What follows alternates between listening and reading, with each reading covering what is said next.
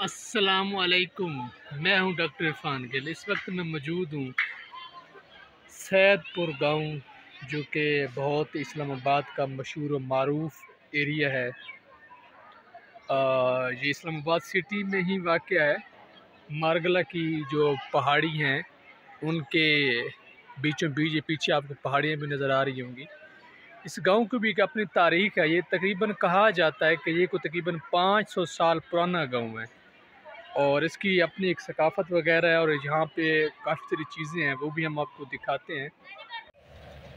यहाँ पर मंदिर भी है, ये सामने आपको मंदिर नज़र आ रहा है और ये कुछ हिंदुओं के पुराने घर थे, ठीक है, जो यहाँ पे सिख वगैरह रहते थे, उनके थे और उसके अलावा साथ ही ये जो आपको नज़र आ रहा है, ये ईसाइयों का चर्च वगैरह भी है तो इसको मंदिर से आपको दिखाते हैं।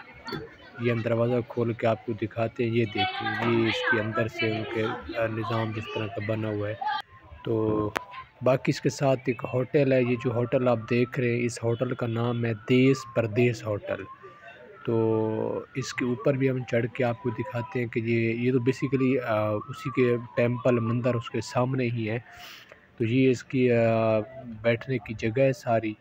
और ऊपर भी इसकी जगह जो आपको नज़र आ रही है, वहाँ पे भी आप बैठ सकते हैं और इससे ऊपर जो बुलंदी है, वहाँ पे आप जाके इंजॉयमेंट वगैरह कर सकते हैं।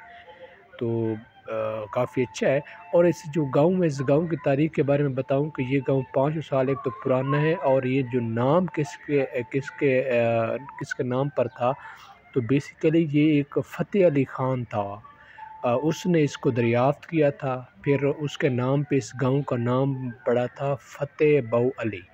फिर बाद में जब मुग़लों का दौर दौर आया और मुग़ल शहनशाहों ने का टाकरा हुआ शेर शाह सूरी से जो अफ़गानिस्तान का था तो उस उसको डिफ़ेंड करने के लिए मुग़लों का एक कमांडर था, समझ लें, या जो जर्नैल था या गवर्नर, उसका नाम था सईद ख़ान। गखड़ तो उसने फिर उनको उसके नाम पे फिर मुग़ल बादशाह ने इसका नाम दे दिया सैदपुर। और ये जो हम आपको दिखा रहे हैं, ये गाँव का अंदरूनी मंज़र है, ठीक है? आपको इस गाँव में बिल्कुल वही पुरानी सकाफ़त नज़र आएगी। ये देखें, वही मुर्गियाँ वगैरह और वही टूटी फूटी सड़कें जो पाकिस्तान का तकरीबन सारे गाँव का हाल है और इस गाँव में एनिमल मार्केट्स वगैरह भी अगर आपने बकरे ख़रीदने तो यहाँ पे आप आके वो भी ख़रीद सकते हैं। और टूरिस्ट आज यहाँ पे फार्नर काफ़ी ज़्यादा लोग आते हैं देखने के लिए और इससे आगे जो है ये रास्ता है गाँव के अंदर ही सारा रास्ता जा रहा है ठीक है? ये गाँव का अंदरूनी माहौल है जो बिल्कुल ही पहाड़ी के सेंटर में लोकेटेड है। और इससे ऊपर आप अगर हाइकिंग पे जाना चाहते हैं तो ये माउंटेन्स वगैरह हैं। इससे ऊपर आप हाइकिंग पे भी जा सकते हैं। ठीक है? तो इन्जॉय करें।